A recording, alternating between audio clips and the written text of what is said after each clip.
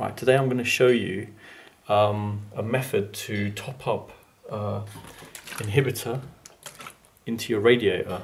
So what I found, um, I've taken the end cap off.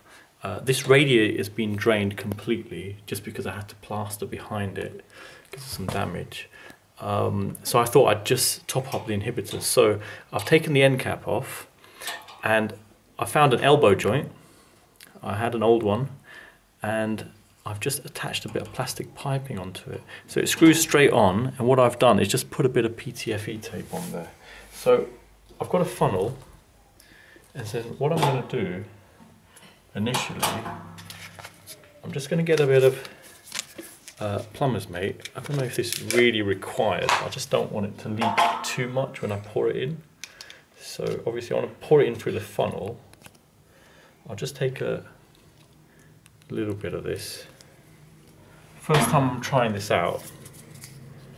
So let's see if it works. So I've got the plumber's mate ready. Let me get a bit of duct tape as well.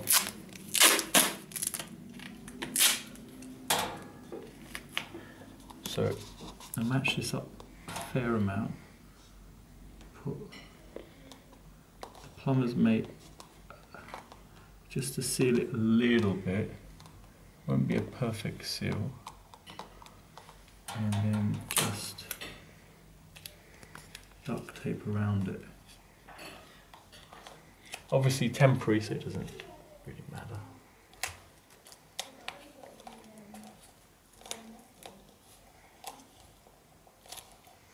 Okay, so if you see in there, you can just just about see you can see some of the plumber's mate coming out just like that. I don't haven't done this, so what I'll do here, over here, over here. I'll just open up the bleed valve on this side.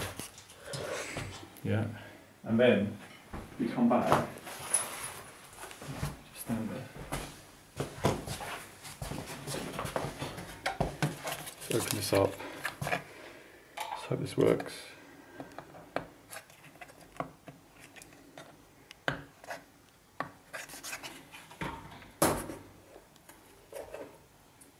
Okay, I'll just hold on to that and just slowly pour it.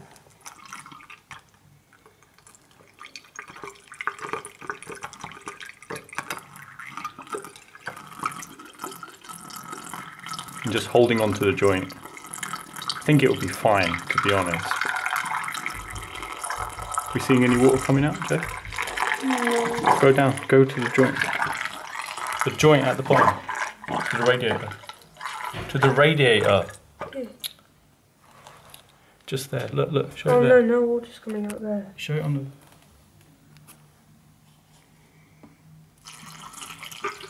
the. Yeah? Okay, go on. Bring the camera up.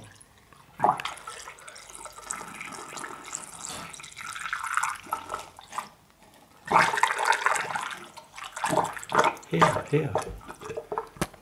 Here.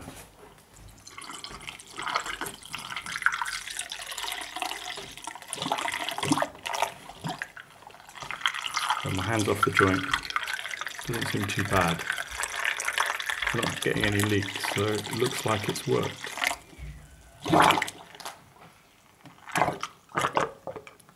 Oh, should have gone slower on that one.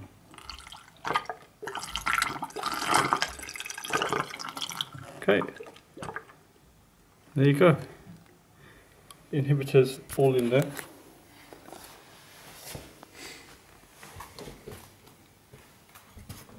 And no mess. I can just take it off again, so if you hold it.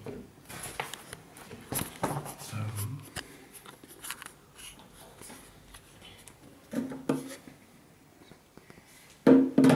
obviously it just unscrews from here and twist it around, it will just come off again. There you go. Thanks for viewing.